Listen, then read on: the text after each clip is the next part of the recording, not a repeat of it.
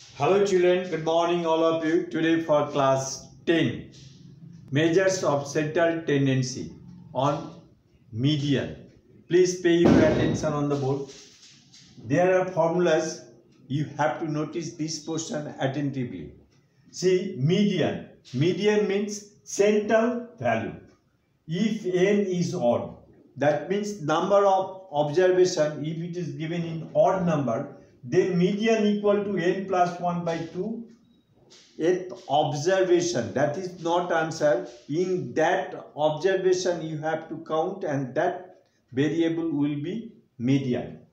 If n is even that is number of observation then median n by 12th observation plus n by 2 plus 1th observation divided by 2 this you have to remember.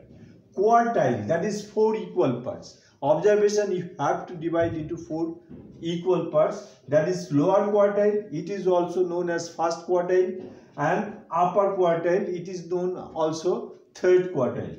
It is denoted by q1 it is denoted by q3 in case of odd number this is the uh, formula. In case of even that is then by fourth observation. In case of upper that is in case of odd that is 3 into n plus 1 by fourth observation and 3n by, by fourth observation in case of even. Now interquartile range that is Q3 minus Q1, Q3 minus Q1 and semi interquartile range that is Q3 minus Q1 by 2, semi that is half.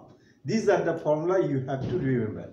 On this one sum is given. If you understand one sum then any sum in this chapter you can do yourself. Please pay your attention on the board.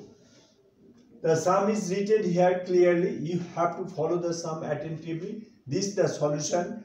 Arranging the given variates in ascending order. These are the variates that is variables. We have to arrange in ascending order first. Then we have to make cumulative frequency table. That is heights, number of students that is frequency and this is cumulative frequency. 151 is the lowest 151 to 157 and this number of students you will get from here by looking the sum you have to write this number of students. And cumulative frequency that is 6 and 9 that is 6 plus 3 that is 9 9 plus 12 that is 21 in this way we have to find out cumulative frequency then we have to find out the median. Median that is here n that is number of observation n that is 50 which is even. In case of even this formula that is in, eh, eh, in case of even the median equal to n by 12th observation plus n by 2 plus 1th observation by 2. After writing the formula, we have to put the relevant values. Here value of n that is 50, here also 50 after writing we have to calculate. This is the 25th observation. This is the 26th observation this portion you have to notice that attentively 25th observation.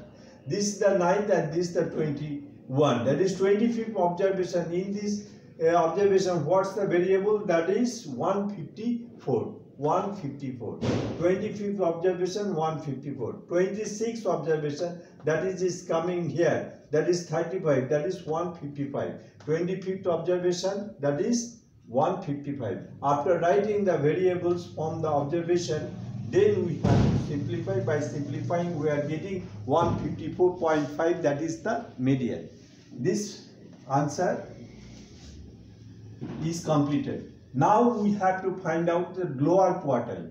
Lower quartile that is in case of even. This is 50 even. This is why lower quartile that is n uh, n by 4 in case of even. After writing the formula then we have to put the uh, value. After putting and simplify 12.5 observation 12.5 observation that is uh, coming here 21 in this observation that is 153 153 upper quartile after writing the formula then we have to put the value. After simplifying we are getting 37.5 observation 35 37 that is this observation 156 156 This observation you have to notice attentively. You have to understand this part clearly. Then interquartile range that is Q3 minus Q1 after putting the value we are getting 3 and semi interquartile range that is 3 by 2 equal to 1.5. Very simple if you remember the formula uh, then easily you can do the sum yourself. Okay, thank you everybody.